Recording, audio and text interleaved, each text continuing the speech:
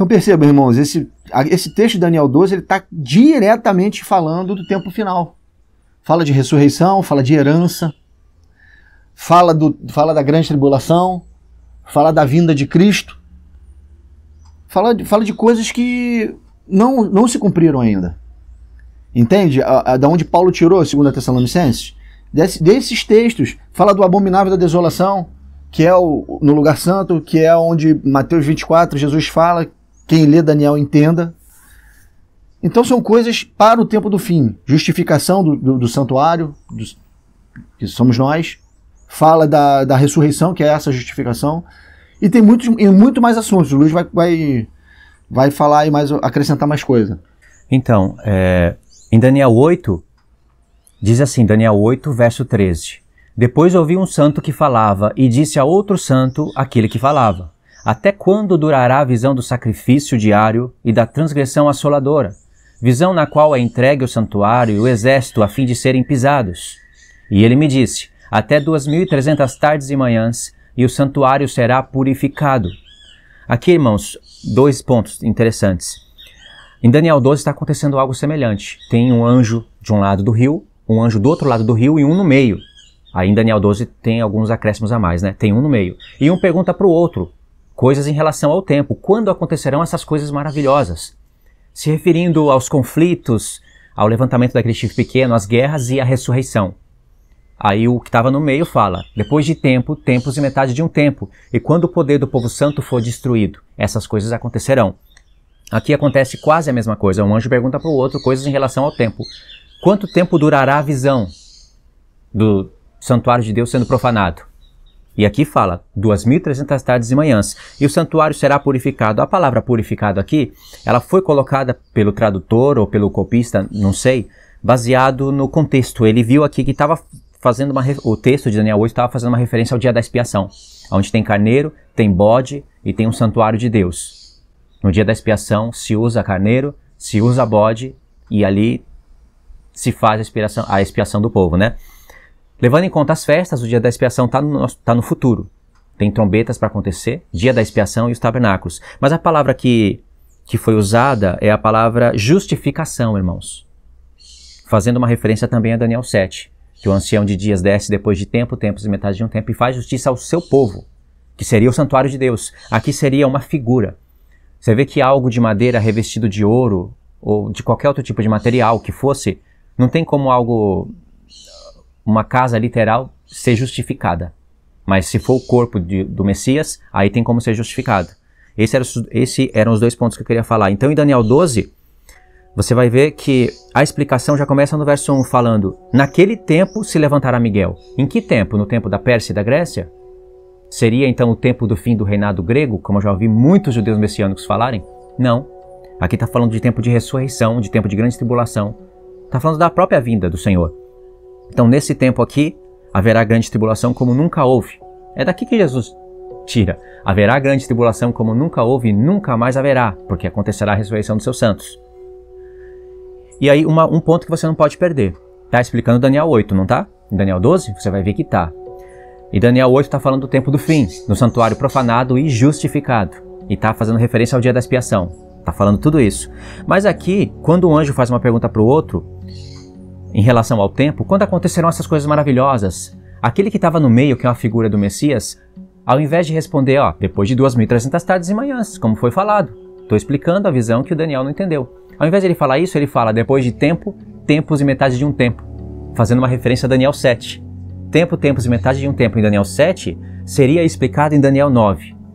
Última semana para o final, um corte da semana no meio, aí sobra três tempos e meio de um lado, três tempos e meio do outro. Depois que o poder do povo santo for destruído, que seriam as duas testemunhas sendo pisadas, derrotadas, pisadas, depois disso aconteceria as maravilhas. Aí teria fim de pecado. Sabe, o anjo está conectando tudo, irmãos. A falha é nossa não é da profecia. Vai ter fim de pecados, o cessar da transgressão, o espiar da iniquidade. Está vendo o dia da expiação? Espiar da iniquidade era feito na Arca da Aliança, literalmente, né? Dia da expiação, aí tem justiça eterna. Quando vier o tempo da expiação dos pecados, aí tem justiça eterna, que seria uma referência à festa dos tabernáculos. Aí sela a visão, sela a profecia, e o santo dos santos seria ungido. Não o templo literal, mas o santo, que é o Senhor de todos os santos, que somos nós, é ungido, no sentido de falar que ele vai ser declarado rei em toda a terra. É quando todo o joelho se dobrará à presença dele. Ele recebe a unção de rei. Né? A unção de rei ele já é rei ele já é rei, Senhor dos senhores. Mas ali é declarado, todo o povo vai, vai se dobrar diante dele. Isso não acontece nos dias de hoje. Ele é rei, mas, muito, mas não é rei sobre, sobre todos. E aí, Paulo mesmo fala. É o pai que vai fazer essa, essa questão de ungir, o pai que vai declarar agora, ele é rei sobre toda a terra. Sobre Todas as nações agora vão estar de fato debaixo do seu domínio. Todas as nações e reinos passarão a ser dele, no toque da última trombeta. No céu, na terra, debaixo da terra, irmão. Todo joelho se dobra a ele. Então, é... em Daniel 12 também fala do abominável da desolação, né? É... Que é o, o homem vil de 2 Tessalonicenses. E ao qual Jesus Cristo também, em Mateus 24, fala quando vires o abominável da desolação no lugar santo, quem lê, como disse o profeta Daniel, quem lê, entenda. Fazendo uma alusão, uma referência a Daniel 12, dos versículos 5 ao 13.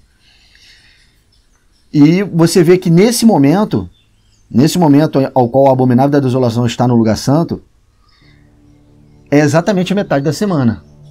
É a metade da semana, quando faltará tempo, tempos e metade de um tempo, para isso tudo se encerrar e vir acontecer as maravilhas todas que tem que acontecer, que o Luiz citou agora. Mas nesse momento, aqui nesse texto de Daniel 12, no verso 10 diz assim: Muitos serão purificados, embranquecidos e provados. Fazendo uma, fazendo uma alusão direta a Apocalipse 11, irmãos, as testemunhas, a metade da semana. Que muitos serão purificados e embranquecidos, serão lavados pelo sangue do Cordeiro. Muitos acordarão, se santificarão. Lembra da parábola das virgens? Nesse momento. Isso vai acontecer nesse momento.